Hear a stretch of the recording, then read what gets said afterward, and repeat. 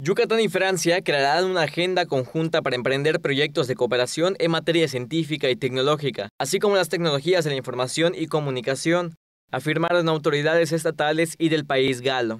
El jefe del despacho del gobernador, Edgar Rubio Bartel, se reunió con una delegación de funcionarios de la embajada francesa encabezada por el encargado del proyecto de cooperación técnica, Luc Blanco, donde externó el deseo de lograr un mayor acercamiento en el tema científico y tecnológico, además de incrementar los lazos en materia ambiental, cultural, turística y educativa. En evento celebrado en el Salón de los Retratos del Palacio de Gobierno, el funcionario aseguró que Yucatán cuenta con la infraestructura necesaria para que Francia pueda expandir sus proyectos en el y así generar un buen trabajo en desarrollo del conocimiento. Yucatán sería un gran aliado para Francia. Nos gustaría contar con su presencia en las instalaciones del Parque Científico y Tecnológico del Estado, espacio que aglutina diversas instancias de investigación nacional e internacional dedicadas a generar mayor conocimiento y desarrollo, enfatizó. Ante Julie Clark, agregada del proyecto de cooperación técnica de la Embajada de Francia, Luc Blanco manifestó el deseo de dicha nación de emprender esquemas bilaterales entre ambas regiones que generen un beneficio conjunto para la población.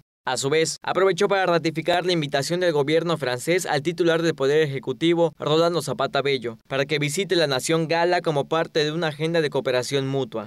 El funcionario destacó que durante su estancia en la entidad sostendrán diversas reuniones con los titulares de las Secretarías de Desarrollo Urbano y Medio Ambiente, Eduardo Bayor San Pedro, y de Educación del Estado, Raúl Godoy Montañez, a fin de intercambiar ideas y proyectos en cada rubro.